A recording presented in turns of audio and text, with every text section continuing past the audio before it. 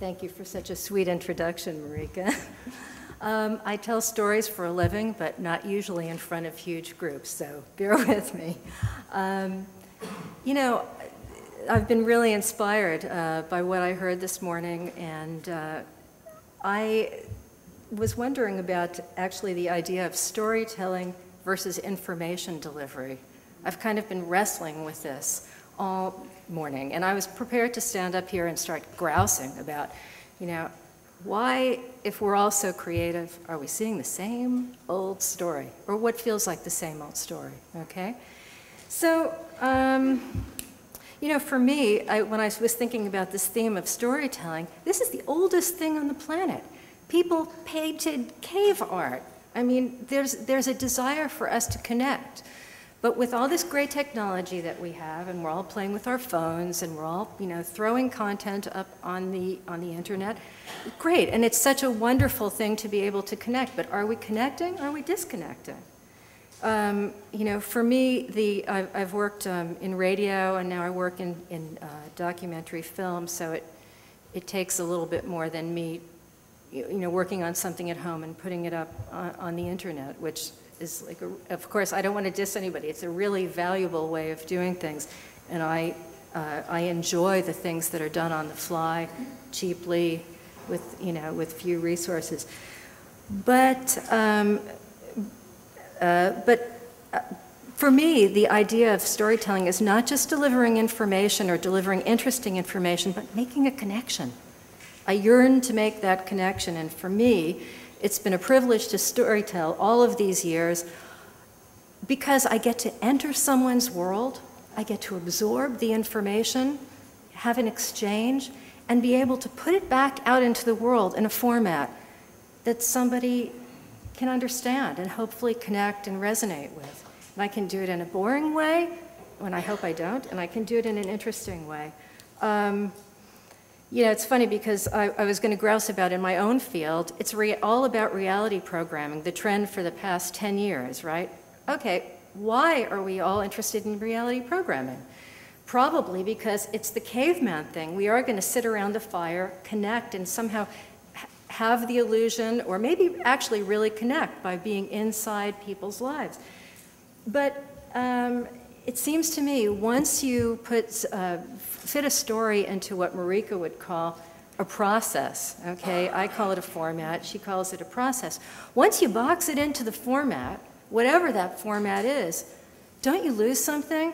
Aren't you tired of seeing the same old thing on television or maybe even on YouTube as we all get, you know, hipper and are putting different snippets on? Um, I don't know if any of you are familiar with Ira Glass, who uh, is actually a radio guy and now a television guy. Um, I worked with Ira uh, back when he was first starting out.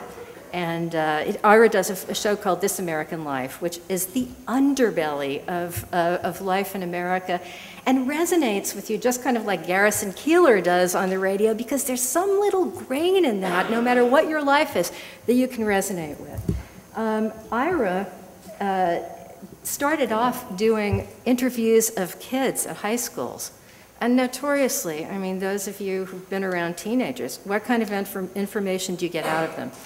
I recently saw a brilliant piece that he did on video of, um, of uh, interviews with high school kids. And his secret was ask, you know, to, to get a good interview was ask questions that people can answer. And he was able to just extract in, on this high school yearbook photo day the most amazing things from people. Um, you know, I feel that stories take many shapes and forms. They have their own lives. You have to let them have a format that works for the story. It, don't use the, the, the, content, don't use the, um, the format to determine what your content should be. And my very personal, um, actually, I think I'm running out of time here, but I'd love to um, play for you if I can. Can I do this from here to play the video? Video, please, Meister.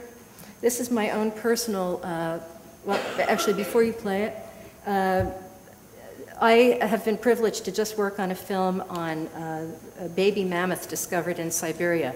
What amazing opportunity to, uh, to produce a film on a fairy tale story, an actual uh, come to life Oops. Well, let's play it because I'm coming out, running out of time here.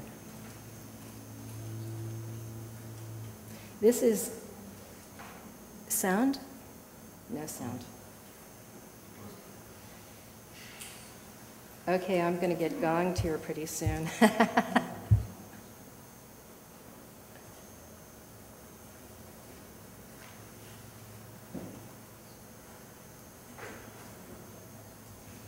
oh well.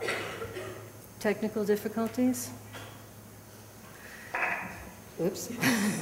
that wasn't me.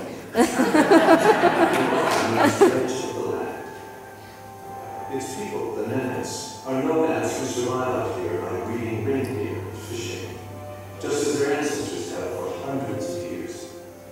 And it's here on this empty stretch of tundra that Yuri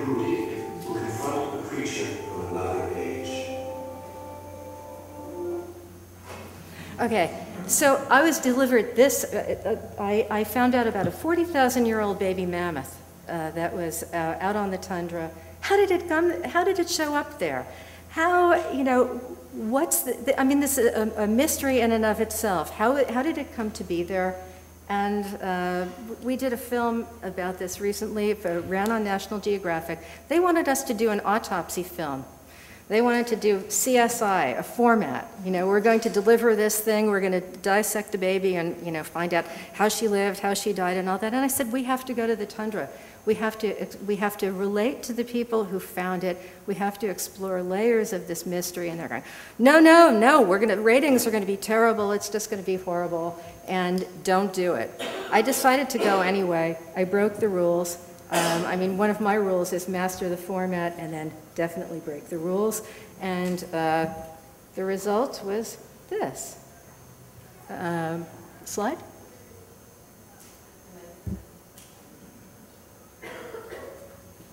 Okay, wrong clicker. Ah, okay, against all odds. breaking the rules and actually doing the thing, breaking the format, uh, doing something that absolutely wouldn't work for their channel, got them the highest rated uh, ratings for the quarter. Uh, just to say that had I done it the, the, the way that we had planned on doing, that they had asked me to do it, it never would have worked. So I say, always be ready to take a chance, innovate, start over, be fearless, and find the magic in the stories. And the last slide. No? Let the story unfold. Thank you.